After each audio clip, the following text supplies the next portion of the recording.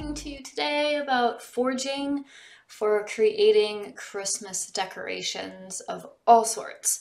Uh, I've decided this year to overhaul the way that I'm decorating and try to use things from nature, try to forge and collect things to create our tree to look very natural and organic, um, not too many extra man-made uh, decorations. There's so many things that you can do just by going out in the forest and finding different things and we're gonna add a few elements like painting or sparkles, things like that, just to dress things up a little bit.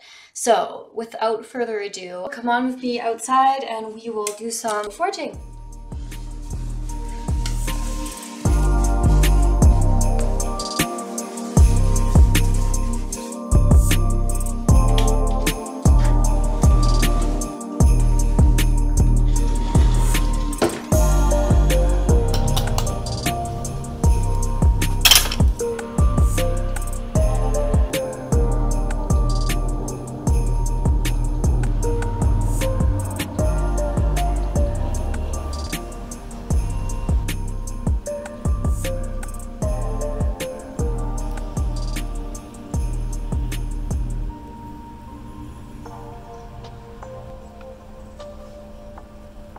Then you have a dog that doesn't want to come inside after you've done foraging.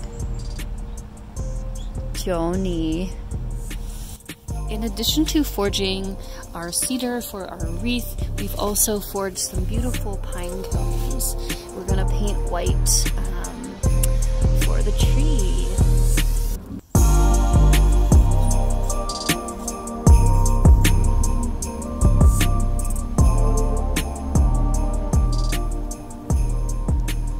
Lucked out this year.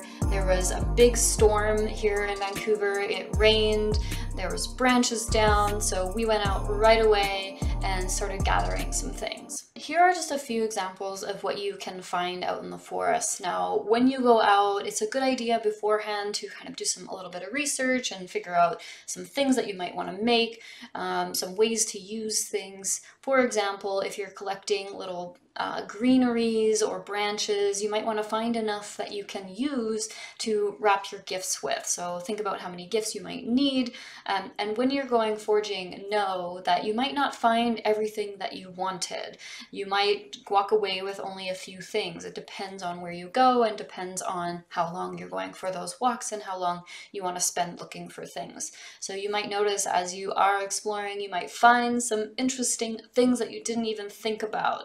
And I would say bring a couple of bags with you and collect as much as you can. You can always compost it um, or put it in the compost or waste bin um, if you're not going to use it at the end of the day.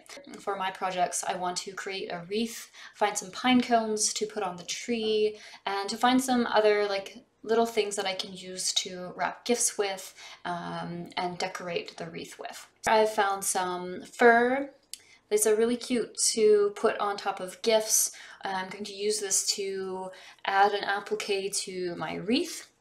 And I found this beautiful big branch of pine um, after the storm that we had here in Vancouver. So that was what inspired me to make the wreath in the first place is finding this giant branch that was already on the ground. I was able to find enough branches to create a beautiful big wreath. So this is another thing that you could look for and also really cute on top of gifts.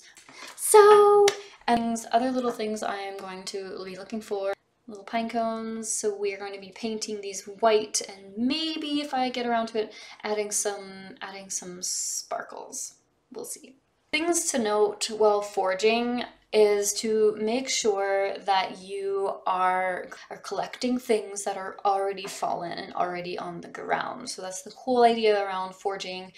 And we don't want to be going in the forest and cutting down branches and things like that um, just for our Christmas aesthetic.